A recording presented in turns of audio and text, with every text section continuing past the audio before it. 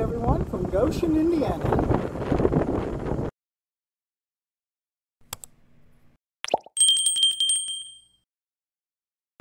While I'm walking the girls, I thought I would share a story with you.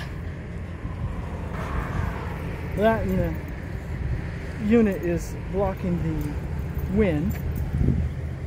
Currently, Horizon has all of the northern Indiana yards shut down because of sustained, sustained winds of 25 miles an hour. I left the yard, but I had to drive down to a truck stop, which is like, I don't know, maybe a mile away because that uh, front tire there was per near flat when I hooked to this unit. But my little jump pack aired it up enough that I can uh, get on down here and then I used the air at the uh, facility here to go ahead and get it aired up the rest of the way. The story I want to tell you is kind of complicated. It's not complicated, it's just a little long. I'll try to be brief. You know how I am sometimes, I'll rattle on. But a couple of weeks ago, I was approached by somebody at Horizon kind of a, a higher upper level person. I'm not throwing out names in case they do not want to be identified. But they reached out to me via messenger and said, hey, would you be interested in getting apportioned plates? And I didn't respond because these days the way people are i'm like i don't know is this some stalker guy? Some stalker i don't know is this some stalker person? Is this a pickup line? I don't know. So i didn't respond to it. But i did reach out to my traffic manager and i said hey if i get an eld no i'm sorry i said if i get apportion plates do i have to run an eld yes eh, no, I don't want to run an ELD.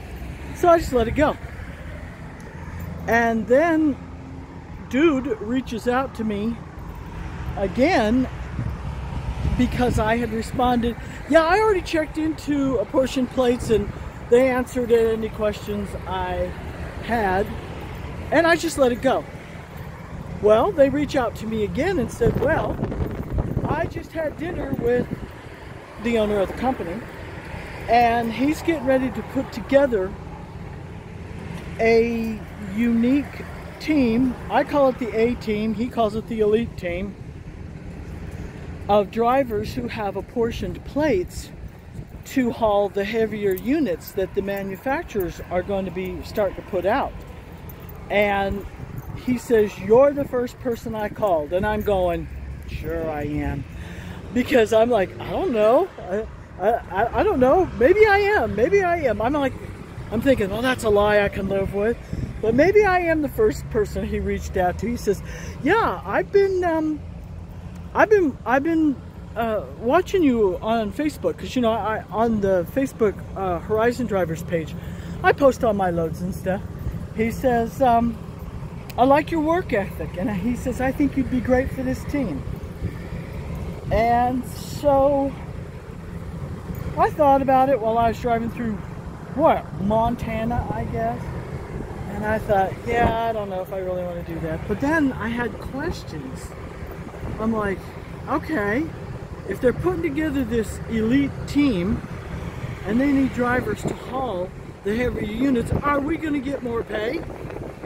And so I uh, sent the guy a message and I said, so are we going to get more pay? And he says, oh yes, we're definitely going to be doing something like that and uh, probably waive the, the pickup fees. I said, well, that's a good thing because why would I want to hook to a heavier unit and tow it when I can hook at the same pay, when I can hook to a lighter unit and have better fuel mileage? Good point. And he answered my question. And so right then I'm like, okay, fine, I'll call him. So I picked up the phone and I called him. So I got dude on the phone and we ended up talking for about an hour. But the first question I asked him, I said, so who are you? And how is it you are on a first name basis and dinner dates with the owner of the company? He goes, I'm such and such. I'm the number one driver. And I went, Oh, so you're that such and such person. By the we talked, yeah, for, for about an hour, and by the end of the conversation, I'm like, yeah, I, I think I, I would be interested in doing that. He says, well, reach out to your traffic manager and let him know, which I had already been in communication with the traffic manager with the uh, first questions that I had. And so when I got back to Indiana, I went over to corporate and I said, I'm interested in the apportioned plates. He said, well, we need your title. Uh, I don't know what they do with the title of the truck, but they need the title. And I said, well, I don't know if I, I don't, I don't know if I carry it with me. Let me check. I don't. And I said, so if the bank can, can send me a, a copy of the title, that would be all right. Said, yeah. Well, the bank won't talk to me because the loan for the truck's not my name. And so they, they, they can talk to me, but they can't send me any documentation. I said, fine. So I asked my traffic manager for a load going south. I said, hey, I need a load going south because I need to swing my uh, my filing cabinet in Kentucky and get the title for the truck. That's how I ended up. Do you mind sitting on me? I that's how I ended up with that Decatur, Alabama load. So I, I nabbed the um, title to the truck, while I was there, I had to get my TARS, T A R S, TARS rotated, and was able to get a 34 hour reset while I was there also. And boogied up to Wakarusa this morning. Well, left for Wakarusa this morning. By 2 o'clock in the afternoon, I was up at headquarters and I was finishing the process for the apportioned plates. And so they gave me all my paperwork for the apportioned plates and my IFTA sticker, my uh, New York HUT thing. I mean, there's all sorts of stuff. I know like this much of what's going on. And I hooked up my ELD, which at midnight will kick in and it'll start tracking my miles and my movements and all that good stuff. I have a lot to learn. I, I have a lot to learn. The first load they wanted to put me on with an that's an ELD load because it's like super heavy and they, nobody can haul it. It it's in North Carolina. I've been dispatched on it, but they're not open on Mondays and Tuesdays. And so my traffic manager got me a load, this load this load, which is going to, I think, Pasco, Washington. Yes. Picked up Goshen, Indiana. It's going to Pasco, Washington. Shipping weight on it is 12,849. GVWR is 16,995. My traffic manager thought this would be a fine load for me to do, something to keep me busy over the weekend. And when I get back from Washington, then I pick up that load going to North Carolina, and I think it's got a shipping weight of like 19,000. I, I, I remember looking at it when when my traffic manager showed me on her computer screen, but you know me in numbers, I've already forgotten most of it. So I wanted my first load as an ELD apportioned plate driver to be an apportioned plate load, but it turned out I'll have to wait one more load. So right now I'm under this kind of light load going to uh, Washington, and then when I get back, we're gonna get into some big business. What's nice? Oh, what's nice about the uh, North Carolina load? My traffic manager says, "Well, I will." Waive the pickup fee, which has gone up to $40 now. And I'll see if I can get you in for a five cents a mile raise on the uh, per mile. And I said, make it 10 and you got yourself a deal. She goes, well, I'll ask Jason because I guess Jason approves all that. She sent me an email. You've been approved for 10 cents a mile more. Sweet. Hey, you don't know unless you ask, right?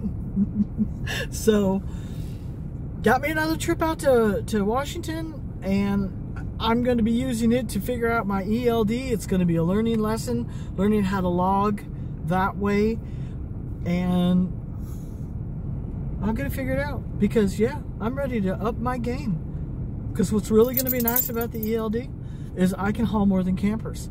Um, I can haul a boat.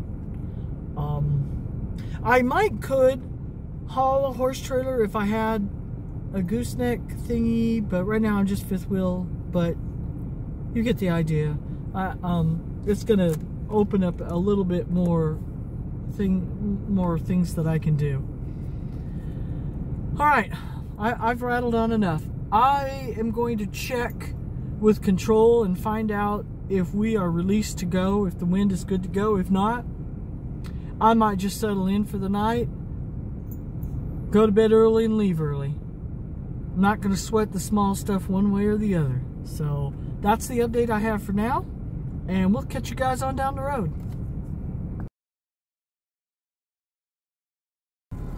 Morning from LaPorte, Indiana. I just spent the morning updating my new logbook system thingy. It's still the same system, but um, I had to manually enter everything yesterday because they told me that once the system, once the ELD system kicked in at midnight, it was going to erase everything that I had logged yesterday, and so I had to manually enter it in. So I got that all figured out the uh, tutorial video that they sent me to learn how to Bluetooth my phone to the ELD device on the dash. That was good. That was very helpful. So I'm all set and I'm ready to go. Getting ready to head out. It rained all night last night. That was nice. I am I'm eager to get this day started. So I think we'll get this day started, right girls? They had to go out go potty in the rain. They're they're shivering like they're freezing to death. My drama queens. It'll be warm soon enough. Alright. Alrighty guys. I'm gonna head on down the road. We'll catch you guys later.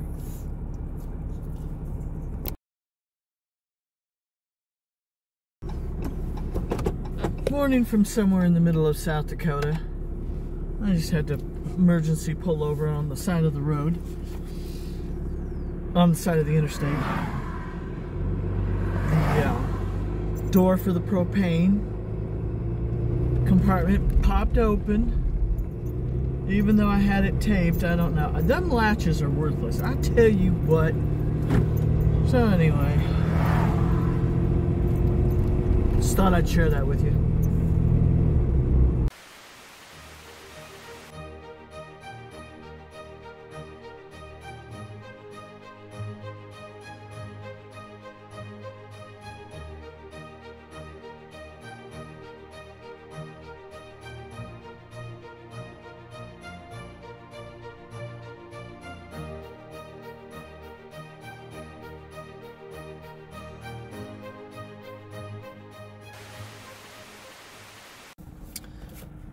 Missoula, Montana, Flying J truck stop. There was a dude that passed me in the hallway as I was heading back to the bathrooms, and he goes, You've got a good YouTube channel, or something to that effect. And it kind of caught me off guard. But uh, to the gentleman who thanked me for my YouTube channel, thank you for watching. You know who you are. Yeah, I had to, long story, I had to buy headphones. Um, the boys back in Kentucky, well, one of them anyway, installed a new uh, stereo into my truck. And um, that has a backup camera. And today at noon, it just quit powering on. I'm like, yeah, I can't go through life sitting in this truck without some noise. So, uh, I'm going to attempt to get these headphones up and running. at least get them charging. I don't know. But anyway, I have to have something. I can't just sit here and do dead silence. Somebody doesn't know how to drive their truck very well. Anyway, I can't, I, anywho, I can't have dead silence. I just, I, uh, I, I wouldn't know what to do with myself. I am going to go ahead and put them on the charger because what's the chances they're even charged? So, but the puede, they got red like Horizon Transport. we just can't have nice things.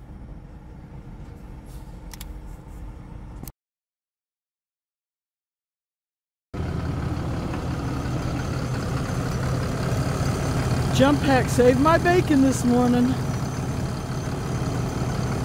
Ran out of juice.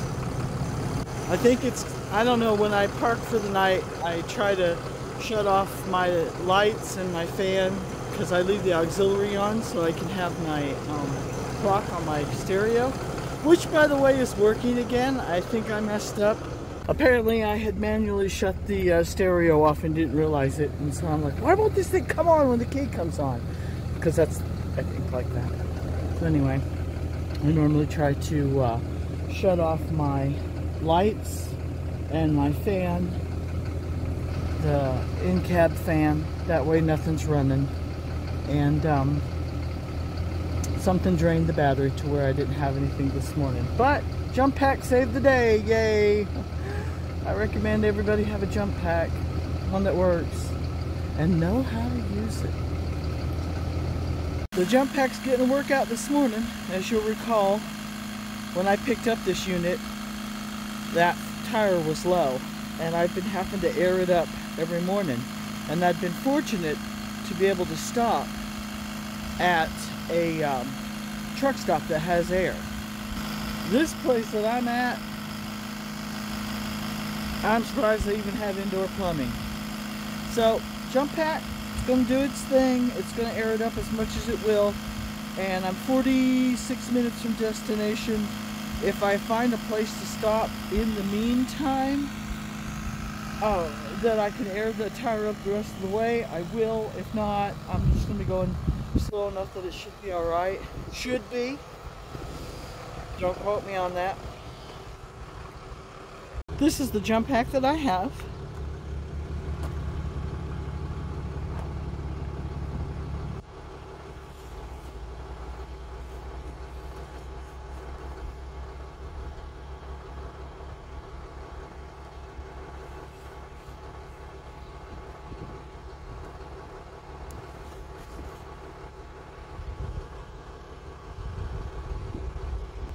And after every usage I charge it.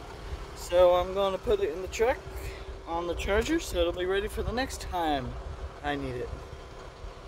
Oh by the way I'm in Othello Washington.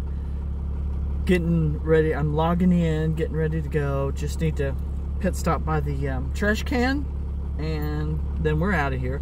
The jump pack aired it up as about as much as it's going to so if I see something like I said on the way I'll stop. If not take it easy. Um, I am 46 minutes from destination. Hopefully. Oops. I hate it when I hit the back button and I go all the way out of the map program. I'm so good at that. Oh my word. I don't know how I function sometimes. I don't know about me. Anyway, anyhow, let's let's get rolling. Okay, enough of that.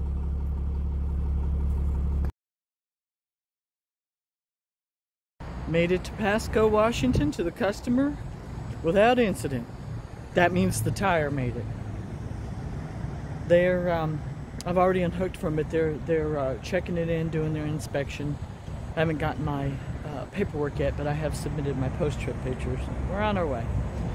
I don't really see anything on the uh, reload board, so I might just be heading back to Indiana Bobtail because I'm already dispatched on that load going to North Carolina. But I'll check the load board again. I'll actually check it every day, make sure, see if there's something in the area. But um, it's good to be here. Weather's nice here. It's going to be a great day here.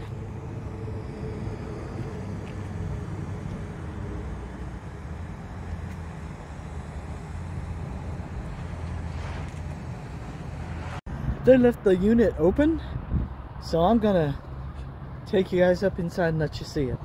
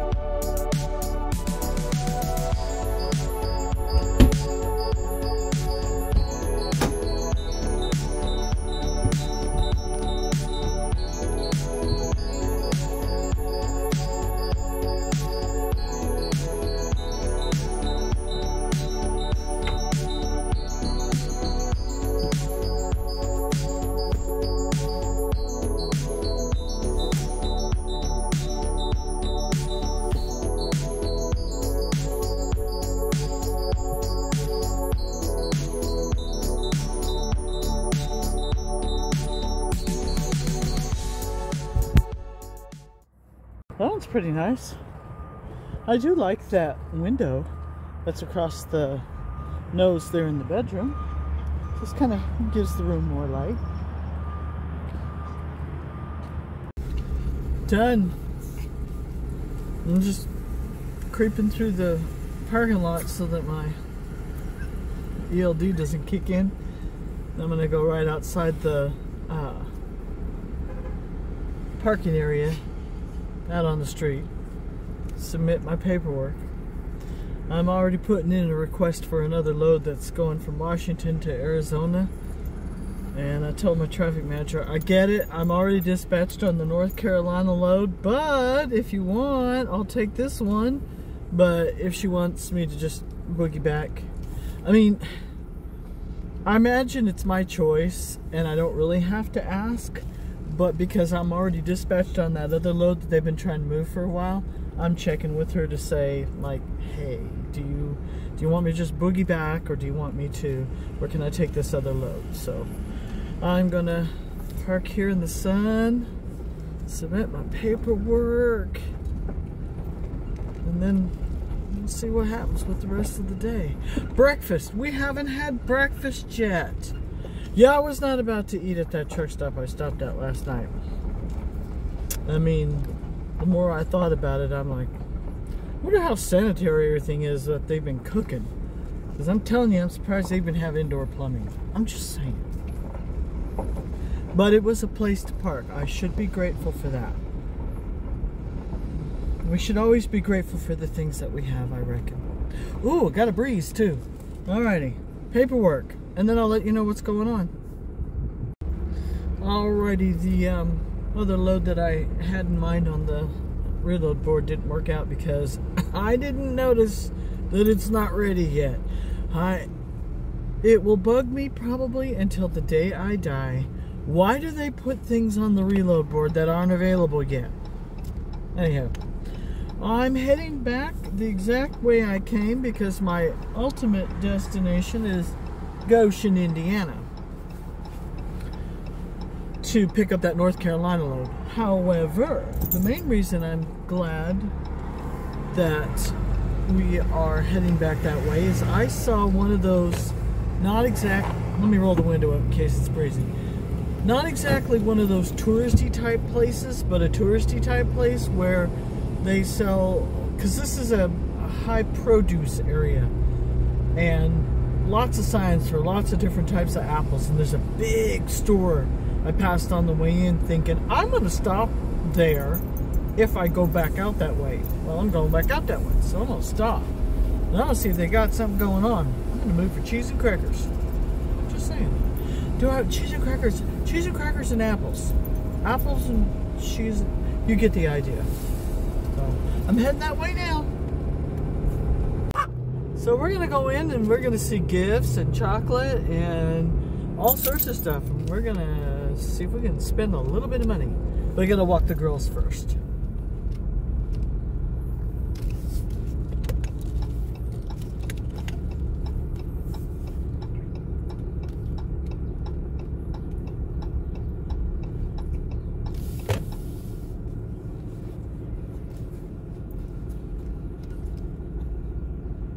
Oh, something smells delicious and Mexican-y.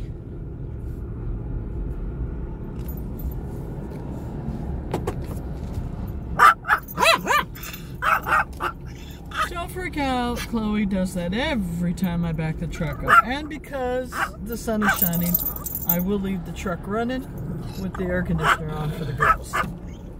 But potty them first.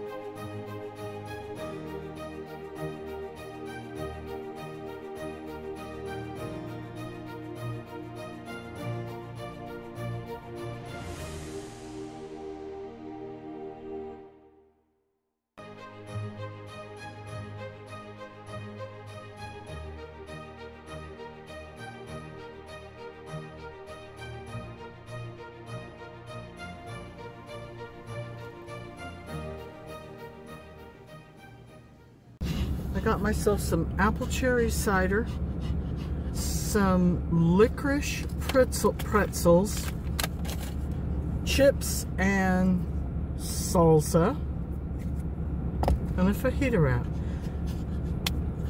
And I didn't explore the whole store.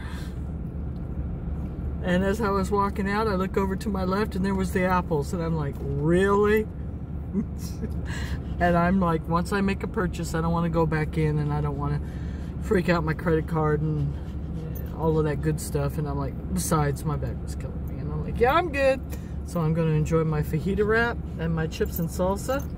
And then we're gonna head on down the road. You know what's really weird? I don't have to say I have to log in anymore because the uh, log, the ELD, ELD, it takes care of all that for you. And the minute my vehicle gets above five miles an hour, it just logs me in driving. I'm like, sweet. And it writes down my mileage and keeps track of my mileage. I'm like, hmm, this is nice. I like this.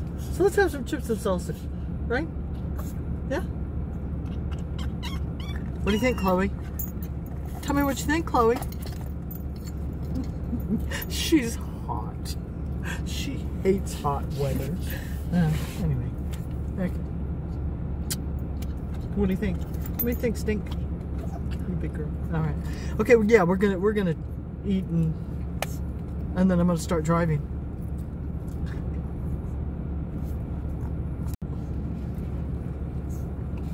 Hands down, best salsa I have ever had. Excellent fajita wrap. The apple cherry cider, awesome. I'm gonna finish it off with dessert, black licorice pretzel. I just now realized it's not really a pretzel with black licorice. It's really just black licorice shaped like a pretzel. That's how my brain, that's how my brain works. For some reason I thought, oh, they've dipped a pretzel in black licorice. That's what I was thinking.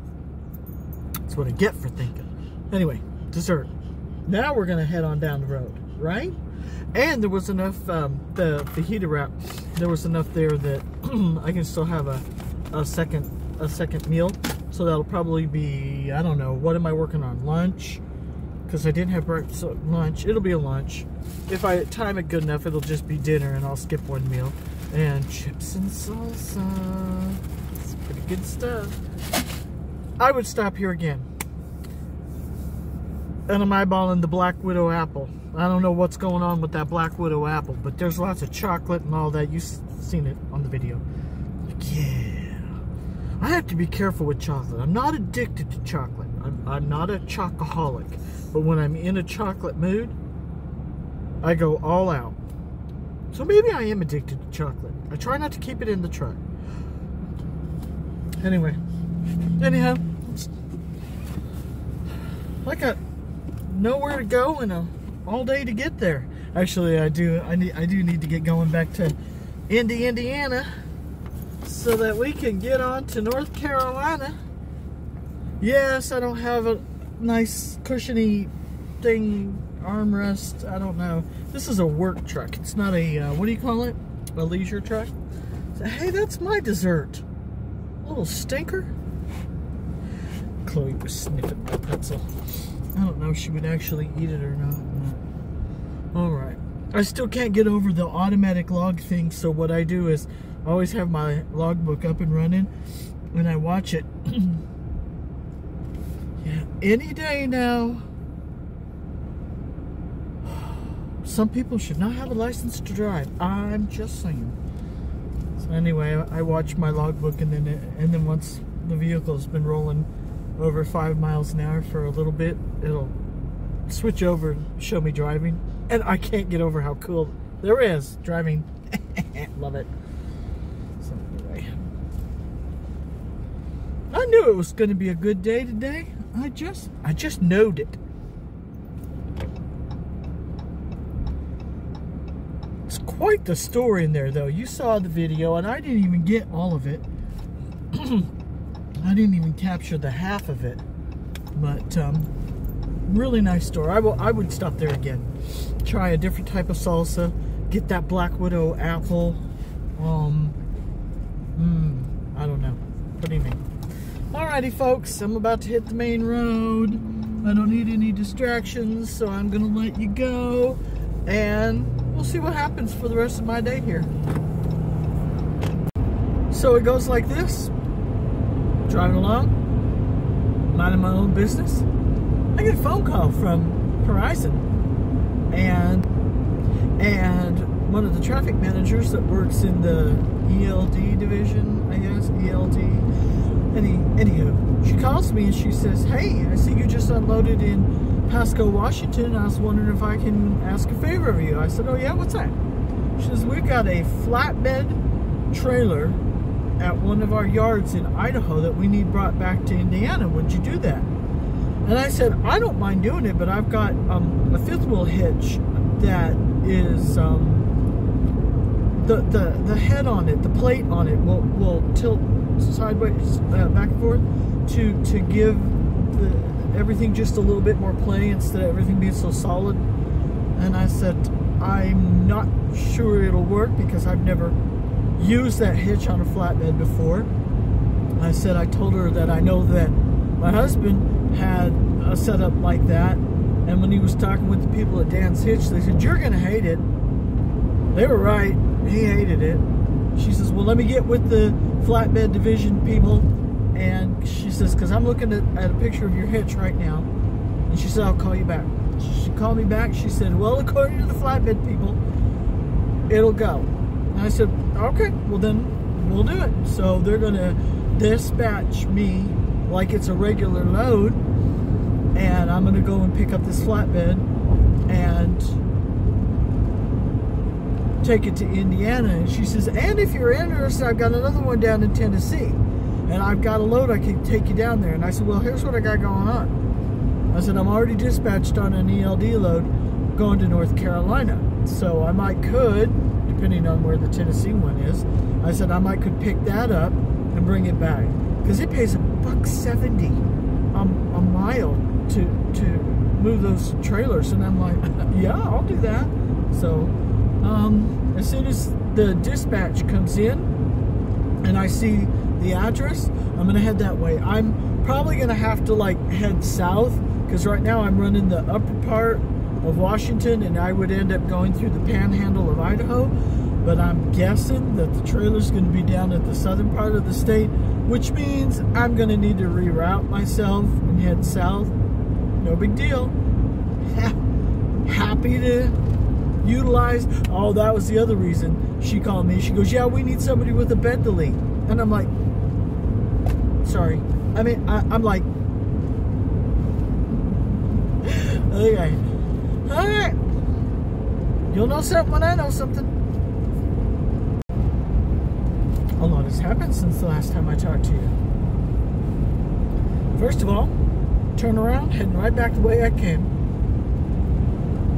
When I got up onto Interstate 90, there was a Love's truck stop, and I said, "Well, let me stop. I don't want to go too far, too much further until I know what direction I'm going." And then traffic manager calls me back and says, "Okay, you're all set to go on the flatbed, but we've got a little bit of a twist, and I'm gonna run it past you. And be honest with me and tell me what how you feel." I said, "Okay." And she says, "There's a driver who had a death in the family and had to fly back.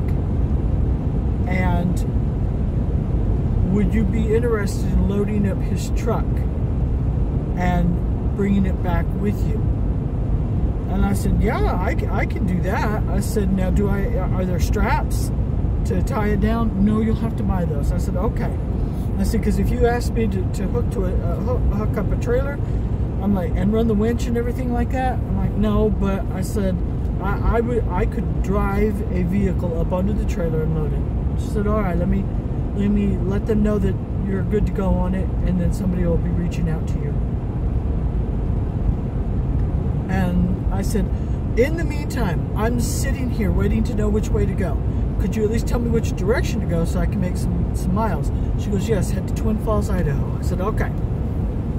So before I left, the Oregon people called me because uh, traffic manager said that you don't need to worry about loading the trailer or buying the straps. Somebody's going to meet you there and they're going to load it for you. I said, sweet, that's even better. And so she said, you'll be you'll be contacted by uh, the Oregon people. I guess I think she called it the Oregon people. I, I don't know. Sure enough, Oregon people called me. He goes, where are you at right now? Spokane. Which way are you going down to Twin Falls? And I told him the route. So you'll be going through Pendleton? Yes. Well, I'm going to dispatch you on a load that delivers down in the Idaho area. That way you won't have so much deadhead. Even better. So I'm on my way to Pendleton, Oregon to pick up a load going to Idaho.